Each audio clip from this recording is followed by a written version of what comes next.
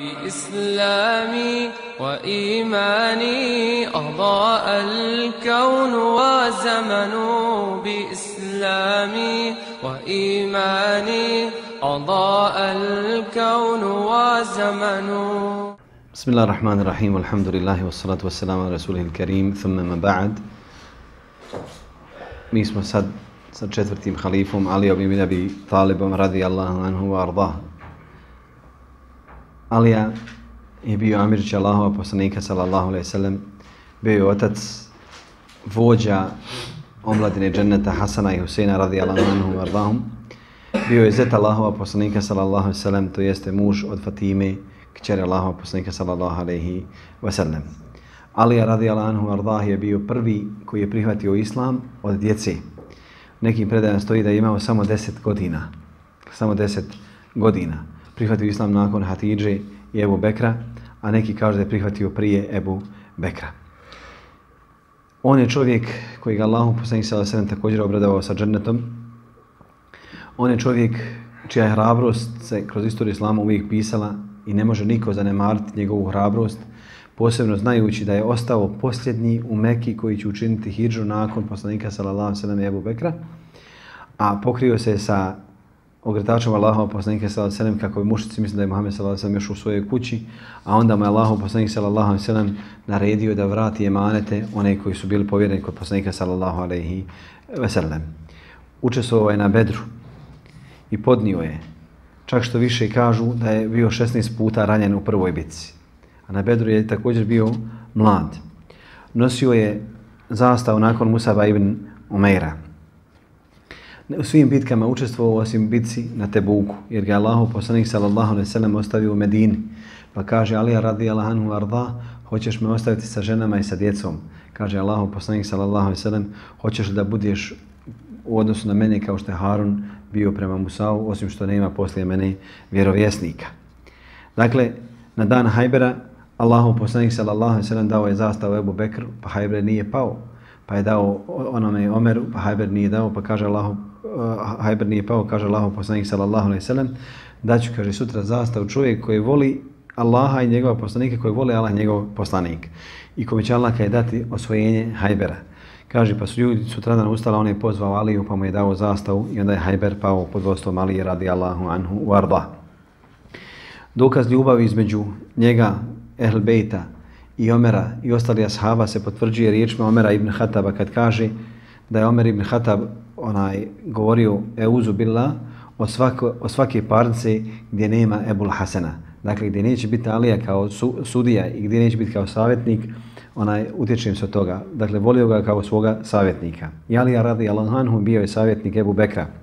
Bio je savjetnik Omera, bio je savjetnik Osmana radi Anhum.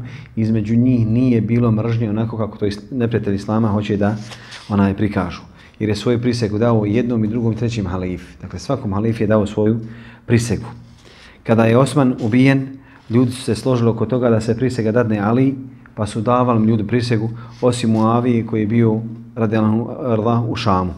Allahu poslanik sallallahu alaihi ve sellem, kada je govorio Zul Hubeisiri, Haridži, koji je došao Allahom poslaniku sallallahu alaihi ve sellem nakon Huneyne, rekao, budi pravedan Muhammede, kaže, vej hak, teško tebe, ako nisam ja pravedan, ko će biti pravedan? Pa kaže Omer radi kaže Allaho poslaniče daj da ga ja skratim za glavu, kaže Omer, pusti ga. Pusti, ne možeš mu kada dakle ništa, dakle Allaho odredba je da taj čovjek bude takav. Kaže, iz kičme ovoga izaće ljudi, pa je Allaho poslaniče da se ne opisao Haridžije. Kaže, ljudi koji će učiti Kur'an, pored čijeg ćete Kur'ana vi omlažavati svoje učenje, koji će post, vi ćete svoj post omlažavati pored njihov posta, klanjaće toliko da ćete omlažavati post pored njihova posta, kaže Allahu poslanik sallallahu alejhi ve sellem ubiće ga skupina preča istine. Dakle kaže eula bil haq, eula bil haq. Allahu poslanik sallallahu alejhi ve sellem rekao nije rekao da Muavija nije u pravu. Muavija je imao pravo da traži onaj da se pronađu ubice Osmana radijallahu anhu arda jer su ga opkolili, mučki su ga opkolili, patali ga ovo, ono tamo, sve dok nisu dakle, preskočili zidine njegove kuće i ubili ga radi Allahu Arda. Muavija dakle, tražio da se samo osvijeti krv osnovno, to jeste da ubice budu izvedene pred lice pravde. A Alija je smatrao da treba se pozabaviti većim problemima, dakle onaj prioritetima, a onda da se posvete u potraze za ubicama Osmana. I tu je bilo razilaženje između Moavije i Alije. I Alija i Moavija kad su izašli na, na bitku na Sifin, nije bilo između njih mržnje, nego se borili za istinu, a kada bi učio ona ezan, kada bi se klanjao namaz, klanjala se samo i za jednog imama. Nisu imali dva džemata. To je bilo shvatanje ashaba. Nakon što su Alija i Moavija se složili da, e, da se presudi, dakle da se zovnu parničari, da se sudi između njih, jedna skupina od Alije se izdvojila i odbacili su da se onaj prihvati su, sud Alije i Moavije. Alija radi Alanuhu se borio protiv njih. Borio se protiv njih i najveća skupina je stradala u Nehravanu. Dakle, hiljade i hiljade je pobio u Nehravanu. Kaže pa su trojica od Haridžija odlučila da, da ubiju Aliju, Muaviju i Amra ibn Asa. Svaki od njih je onaj odlučio kojeg će ubiti. Abdurrahman ibn Muljim je odlučio da ubije Aliju radijalanhu arda i jedini je uspio u tome. Jedini je uspio u tome pa ga je onaj udario otrovanom sabljom. Alija, govorit ćemo nešto kasnije o tome. Alija radijallahu anhu arda bio je visok, bio je pun, imao je veliku bradu, također imao pročela u glavu, imao je dva krupna oka i razmaknuta. Imao je bijelo, bijelo lice, imao je bijelu bradu.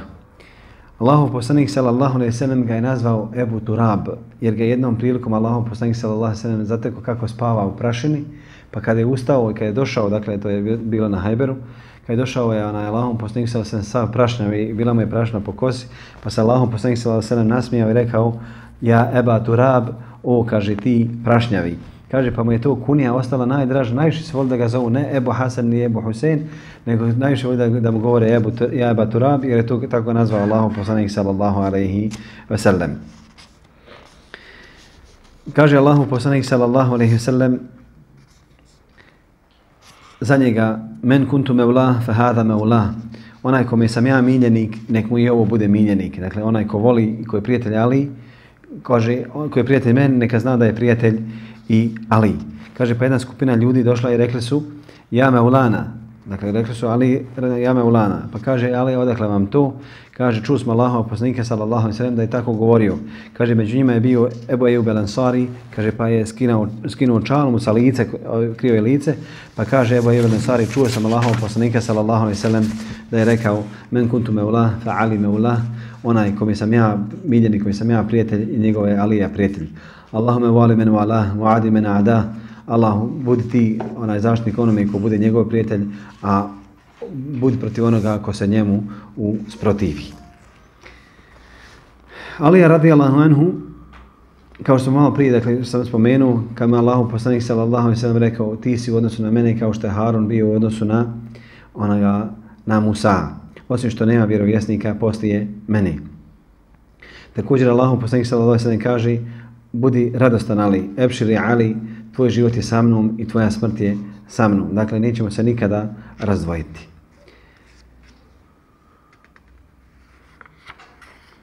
Kaže Allahu poslanik sallallahu alejhi ve sellem Fatimi, Fatima, hoćeš da te oženim za toga i toga? Kaže Allahu poslanik, čudaješ me za onoga koji nema ništa.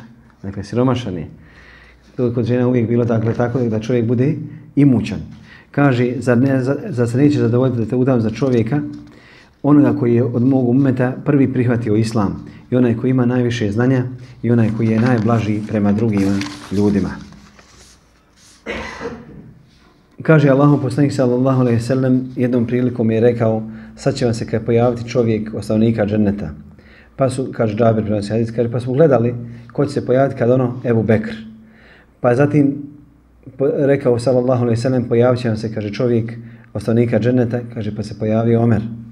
Kaže, pa je rekao zatim sallallahu alaihi wa sallam, sad će vam se, kaže, pojaviti za onaj o, čovjek ostanika dženneta i nadam se da će biti Alija. Kaže, pa se pojavio Alija radijallahu anhu arba i ovo je bila klebešarat, odnosno bio muštuluk za Alija da će biti ostanika dženneta. Naime, oni koji su odlučili da se bore, odnosno da ubiju Aliju radijallahu anhu arba, rekli su nas to bile Haridžije, među njima, dakle, poznata trojica, Abdurrahman ibn Muljim, Barak ibn Abdullah i Amr ibn Bekr et Tamimi. Barak ibn Abdullah je trebao da ubije Muaviju, Amr ibn Bekr je trebao da ubije Amra ibn Asa.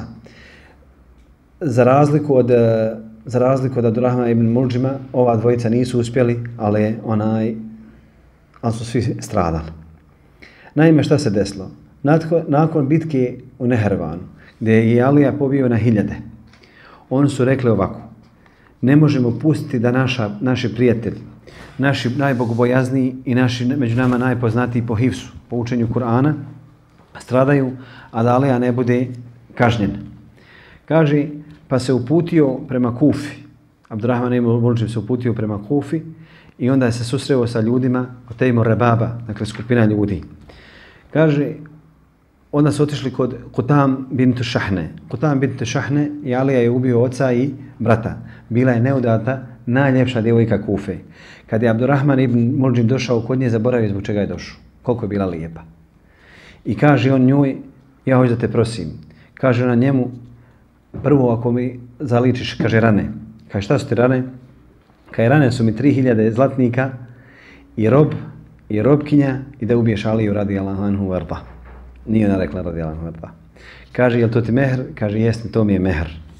Kaže, sve ovo što spomenula, kaže, nije bitno, ali ja sam kaj i tako došao da ubijem Aliju. Kaže, ako si došao da ubiješ Aliju, kad se okreneš, kada, on, kada kreneš da ubiješ Aliju, javi mi da ti pomognem sa ljudima koji će ti pomoći u tvome dijelu. Biće to, kaže, bolji od svega na Dunjaluku i od najbolje, dakle, odjeće i od najbolje blaga. Zamislite kako su Haridžije razmišljale šta znači ubiti Ali radi Allahu anhu varda. Kaže, pa mu je, pa mu je dala Šebiba ibn Neždu. Šebiba ibn Neždu da pomogne da ubije Aliju. Kaže, kako ću mu pomoći da ubije Aliju kad ti znadeš da Alija, ko je Alija, dakle, hrabar i jak čovjek. Kaže, ne sikiraj se, on na sabah ide, on na sabah ide, a nema sa njim onaj čuvara. Pa pogledajte, ovo je bio dogovor u Ramazanu. Ubistvo Ali radi Alanhum bilo je dogovarano u Mežidu, dakle najvećoj džami Kufe. Zatim na sabah namazu, kad ljudima najteže da ibadete Ali radi Alanhu, je pripremano, dakle, onaj atentat.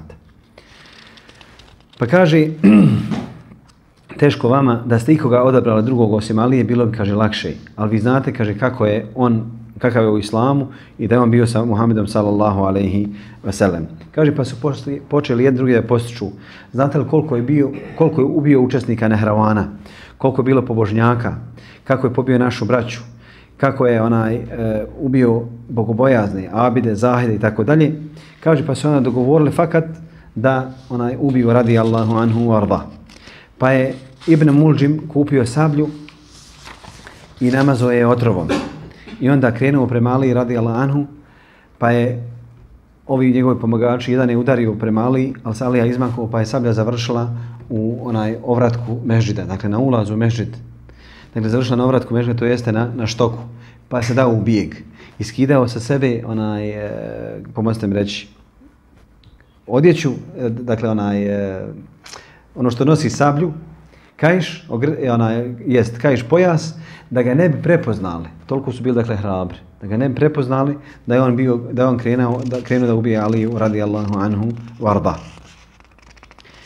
Kaže pa Ibn Muljim zamahnuo i udario Aliju, udario ga posred glavi, ali a nije u glavu rasjekao, nego samo rasjekao mu kožu. I to u trenutku kad je Alija govorio as-sala, as-sala, dakle zvao ljude na namaz da idu prema džami i hodao, I kad je došao pred džamiju, Abdurrahim ibn Muljim ga je uhvatio. Jedinu stvar koju Alija uspio reći, kaže, nemojte da vam pobjegne ovaj. Kaže, pa se ljudi okupili, uhvatili su Abdurrahmana ibn Muljima i onaj, zaplakala je njegova kći, Umu Kulsum, kaže, Allahov neprijatelje, Allahov neprijatelje, neće mom ocu biti ništa. Kaže, tvom ocu neće, kaže, biti ništa, jer ova sablja da je udarila po svim stanovnicima Egipta, ubila bi ih. Dakle, toliko je bila otrovana sablja. Dakle, toliko je bilo otrova da bi svi Egipćani pomrli. A tvoj, kaže, otac je još uvijek živ. Kaže Alija radi Allah anhu Hasanu. Dovedite, kaže Ibn Mulđima pred mene. I kaže mu Alija radi Allah anhu. Šta te je ponilo da me ubiješ? Kaže ono što su čio Nehravanu. Kaže njemu Ibn Mulđim, hajde ti, kaže, mene dopusti da ja, kaže, ubijem onog Moaviju za tebe. Kaže, ne trebaš te ubijati Moaviju ne trebaš ubijati Muaviju za mene. Kaže onaj Ali radi Anhu Hasanu, ako umrem, glavom osjecite. Nemojte ga pa-, patiti, jer kaže u islamu toga nema. A ako kaže preživim, onda će kaže ja vidjet šta ću sa njim. Pa je, kad je Alija radi on preselio od otrova, dakle ne od rane nego od otrova, onaj Hasan je Abdurrahmana ibn Mulđima ubio. Barak ibn Abdullah je pokušao da ubije Moaviju, ali mu nije tome uspjelo. Nego je udario kraj Moavije, omašio ga i onda pošao da bježi. Pa je Moavija eh, onaj, uh, naredio da ga uhvati, kaže, šta, za čim su krenuo? Kaže, hoj da te obradujem da je tamo jedan moj brat ubio je Aliju. Kad je teško tebi bilo, nećeš ni ti preživiti. Kaže, Moavija, vodite ga pa njega ubite. Dakle, jer je Muavija shvatio o čemu se radi, dakle, da, da se radilo o zavjeri, da su, onaj, se pojavljuje skupina Haridžija koji hoće da ubiju Aliju i Muaviju. Kada je ovaj udarao, onaj Mulđim, uh, eh, Abdrahan i Mulđim udarao Aliju, kaže, al hukmu lillah, la leke vola li Muavije. Kad je vlast i sud pripada Allahu, a ne tebi i Muaviji. To su bila dakle njihova svatanja onaj Haridžija kako navodno ne mogu ljudi da sude. Na smrtnoj postelji Alija radi Allahanhu upozorava svoje sinove pa im dakle, ostavlja u vasijet Hasane Huseinu i Muhammed ibn Hanafije. Muhammed ibn Hanafije je bio sin od druge žene. Od druge žene Ali radi Allahu anhu. Hasan i Husein su dakle, sinovi od Fatime. Kaže, prvo što vam ostavljam, odnosno preporučujem, jeste takvaluk. Druga stvar jeste namaz i zekijat. Upotpunjujte abdest. Znajte da se neće namaz primiti osim ako ne bude čišćenje potpuno. Kaže, naređujem vam da opraštate grijehe, da krijete svoju sržbu, da vežete rodbinske veze, da budete blagi prema neznalci i onome koji hoće da se nauči vjere. Uvijek provjeravajte informacije. Imajte stalno odnos, odnosno stalno druženje sa Kur'anom. Budite dobri prema komšijama, naređujte dobro, klonite se zla i klonite se razvata. Zatim pogledao Muhameda ibn Hanefiju, kaže, jesi li, kaže, zapamtio što sam kada je rekao tvoje braći? Kaže, jesam. Tebi kaj naređujem isto, a naređujem ti da budeš dobar prema svoje braći, da ih slušaš i da im se pokoravaš. Alija radijallahu anhu je bio žrtva početka haridžizma, onoga koji je zavladao u vrijeme, odnosno koji je pojavio se u vrijeme Osmana, a je zavladao njegovo vrijeme. Alija radijallahu anhu je pao kao žrtva neznanja i džehla skupina ljudi koji dan danas se pojavljuju. Ja sam jučer pitao našu braću u Kladnju da mi kažu zbog čega je uspio projekat Idiša u svijetu. Zbog čega je uspio projekat Idiša u svijetu? Zbog neznanja i slabe informisanosti naše omladine. Isto je tako bilo vrijeme kad se pojavile Haridžije u vrijeme Ali radijalanu. Allahu poslanik sallallahu alejhi ve upozorava, pa kaže vaš namaz, vaš post, vaše učenje Kur'ana neće nikad biti kod njih, toliko će biti pobožnjaci. Kaže yaqraun al-Qur'ana walakin la yajawizu hanajirahum. Uče Kur'an, a on ne prolazi dakle njihovo njihovo grlo, dakle ne dolazi do njihovih srca. Tako da naša omladina danas je zanešena tom idejom uspostavljanja hilafeta na zemlji. Pa su im ponudili Ebu Bekra al-Baghdadija, anonimusa, čovjeka koji nema nikakve veze sa islamom muslimanima, da on navodno vodi projekat hilafeta. I zbog toga je naša omladina je stradala i dan danas strada, navodno su ih sakupili tamo negdje u Šamu i u Iraku, da bi ostvarili projekat hilafeta, a u to je projekat svrgnuća sve muslimanske, cijele potpunosti, totalne muslimanske omladne, koja ko se ima ideju džihada, koja ko se ima volju za hilafetom. Ko to od muslimana ne voli da oživi hilafet? Dakle, normalan musliman, ako je normalan, priželjkivaće pojavu, povratak hilafeta. Međutim, draga braćo, hilafet se ne vraća na onakav način kako su oni sebi zamislili. Onako kako, sto, kako je to posljednji projekat tajnih obaveštajni takozvanog okupiranog dijela Palestine i Izrael ili od susjednih zemalja ili od zapadnih zemalja tamo gdje je muslimanska omladna zavedena. Zato kažem, Alija radi Anhu Arda je stradao upravo zbog zamisli nekih da više znaju od njega. Kažem, ubili su ga u Ramazanu, ubili su ga na sabah namazu, ubili su ashaba Allahom poslanika sallallahu alaihi sallam, ubili su čovjeka koji je prethodio, prednjačio islamu, ubili su onoga koji je, dakle, ni jednu bitku nije izostavio, sam što malo prije rekao, bitku na Jermovu, kako je Allahom poslanik sam rekao da ostane. Dakle, ubili su jednog od najčastnijih i najuglednijih. A, a borba, Tebuk, a borba protiv, borba protiv onoga vladara je borba za fesad, za nered. izlazak protiv vladara i onaj javna borba protiv njih jeste nagovještaj nereda. Jer kad nema vladara, vi pogledajte, draga braći, ja sam o, to, o tome govorio nekoliko naših druženja, ako sjećate kad smo radili velikane Islama, onaj, a Saddam Hussein nije velikan Islama, šta se desilo u Iraku kad su svrgli Saddama Husseina? Tagut, nevjernik. Nevjernik nestao je. Muammer Gaddafi nije bio muslimanom, dakle negirao sunnet, negirao vjerodostojnost sunneta, rekao da, da islam nije za, za, za čovječanstvo, da je islam poseban za Arab i tako dalje. Kad je nestao on, šta se desilo u Libiji? Šta se dešava danas u Siriji? Šta se, na mnogim dakle, mjestima gdje se svrgnu vladar, kada nema vlasti, oni gdje nema mačke, mački miševi kolo vode. E to se desilo i u Umetu. Dakle, kada se kada je nestala Omer radi razvalila se vrata, vrata krenule se fitne, nestao je Osman radi ubijen je Alija radi i do dan danas nek trpi umet upravo zbog tih likova koji sebe pripisuju islamu, islam je čist od njih. Dakle, ne imamo ništa zajedničko sa njima, a iako dakle, ljudi nas svrstavaju sa njima u redove, ja molim Allaha subhanahu wa ta'ala da spasi islam i muslimane. Islam sigurno, a muslimani su prepušteni onoliko koliko budu slijedili pravi put, koliko budu slijedili knjigu Allaha te bareke wa ta'ala wa sallallahu ala sayyidina wa nabina Muhammad wa ala ali Muhammad wa jazakumullahu khairan jazaa.